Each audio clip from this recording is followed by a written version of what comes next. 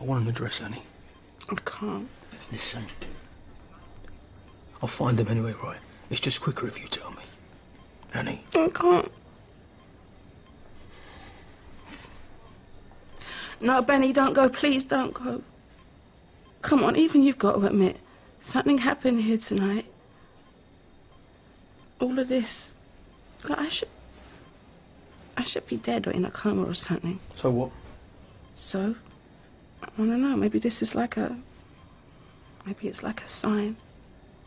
It's like an intervention. It's like a chance for you and me Have a nice life, Annie.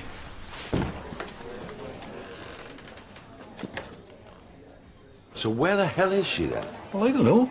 I'm not paid to look for missing doctors, am I? Jordan's gonna go spare. Are you planning on coming back? Uh, plane catch So. Right, well, it's just that we've got a few more tests to run on your sister. I thought you might want to hang around just in case. Well, according to your mate, I've got nothing to worry about. There's a higher power at work, apparently. He gets a bit carried away sometimes, that's all. What about you? You think her coming back was a miracle? No, no miracles here, mate. Just uh, plain old-fashioned luck. Yeah, she always did lead a charmed life.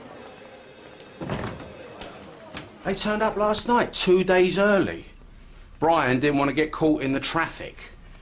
Now I've got to put up with them. Don't get me wrong, Susan's okay when Brian lets her speak. And Beth, well, Beth's just great. I would be five again at Christmas, eh? but Brian, God, talk about the glass is half empty. I sometimes wonder if that hospital swapped him at birth. Henry, are we going to spend the entire night just talking? Oh, I bloody hope not. The two were easy to tell apart. Sam had a white tip to his tail while talking.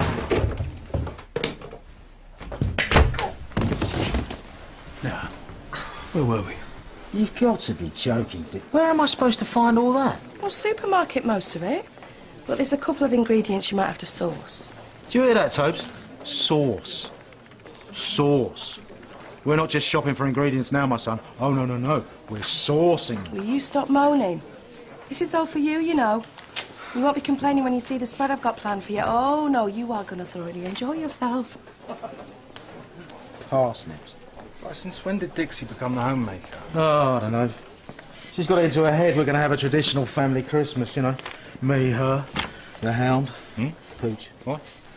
Dog. Ah, right, like a strange little family. Hmm.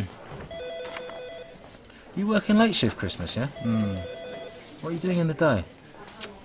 Don't know, probably watching cartoons. Ah, change of plan, my son. You're coming round to ours. Get yourself a nice bit of Christmas dinner. Ruth? Uh, no thanks. I've got other things I'd rather be doing than spending Christmas with workmates. Actually, I was just going to say hello.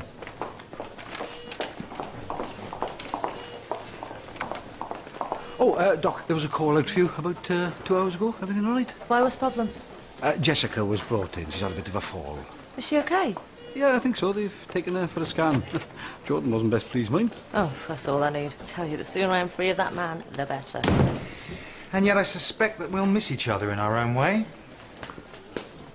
You could have warned me. It's like you appeared out of thin air.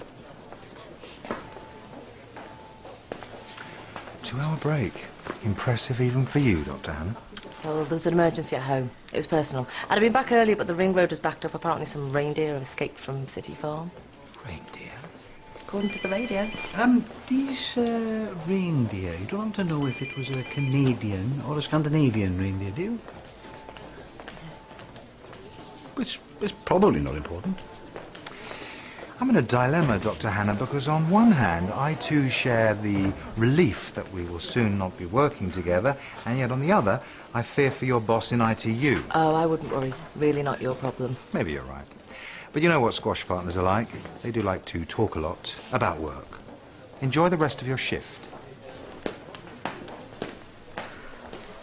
I know I can't believe myself. Things you do, eh? You ever done anything like that? Yeah. I never saw her again. Can you believe it? Just filling your brother in on my misspent youth. Wigan Casino and all that. Never had you down as a gambler. Uh, no, it was a nightclub. he has no taste in music. Surgery went well, I hear. No complications. Yeah, so they tell me. Actually, I just wanted to have a Yeah, walk. yeah, absolutely. See you later, Alice. Thank you. Adam, what with the surgery, I'm pretty tired, so if you were looking to pick up where we left off, then... I left a message for Molly. Well, you put up more of a fight, but thanks. Mind if I ask you what changed your mind? A couple of things. This, uh, this problem we have, uh, my attitude to what's happening to you. It's gonna take a little while for me to sort that out, but, but I plan to be here, whether you like it or not. Okay. And the other thing? How are you with surprises? What, lights off? Oh, Henry, you're getting prudish in your old age. That's not like you. and no socks. What's the special occasion then?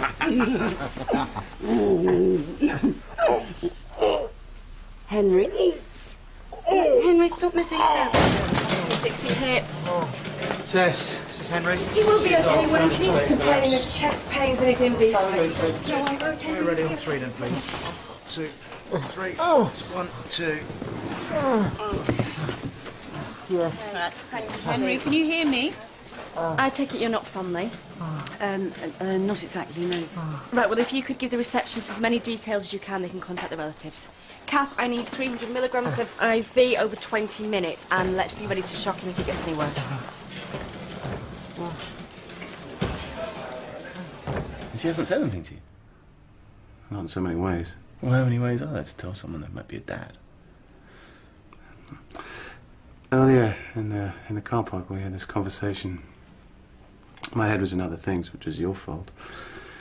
She was talking about family and kids, and asked me how I felt about it all. Uh, I bet I can guess what you said. Well, if, if I'd known I was being vetted for my suitability as a dad, I would have chosen my answers more carefully. Oh, so, say she spoke about kids in the car park. It doesn't mean it's yours. Only met her once, but yeah, she doesn't seem the sort to keep something like that from you. Uh, just because she's got some strange ideas about doing the right thing. Hmm, can see why that'd be strange to you. No, I mean she has a husband, she has kids. Yeah, she could be protecting them, she could be protecting the baby. Even me. I just don't know what to do. Well, would it make any difference if the baby was yours? What kind of a question is that? Of course it would. Okay, only one thing you can do. Go find out. Okay. Yeah, okay.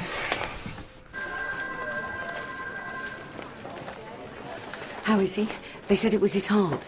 He suffered an episode of VT, which is an abnormal heart rhythm, but we've managed to stabilise it. But he is going to be all right, isn't he? Well, he'll need monitoring for a while, but he should be fine. You'll be able to talk to him soon. Actually, would you tell him that I'll call him later? It's just that um, I just I've got to I've got to be somewhere. Of course you have. Excuse me. Is there something on your mind? No, no, no, it's fine. I mean, you have to go. I'm not making any judgments. No, no, of course you're not. Come on, out with it. What is it you want to say to me? I'm guessing they're your work clothes under your coat. My work clothes. Tell me, are you normally this much of a bitch, or are you just making an exception for me? yes, if you'd like to I am the bitch who saved your client's life. Uh, Henry Jack, I'm his son. We were told he was brought in here. Is he okay? Yeah, he's recovering in Resus at the moment. and He's suffered an episode of VT and will need to be referred to the cardiologist for... Sorry. Brian, what is it? Who are you? I'm Brian's mum. Plenty of sugar. Um, I made a few calls. Vince was taken to St. James. There's no one else involved. Please just think he took a bend too fast. I'm sorry. Oh, God. I'm sorry. What are you sorry about? That he lost the baby. It was an accident. If anyone's to blame, it's me. You're tired, you're exhausted.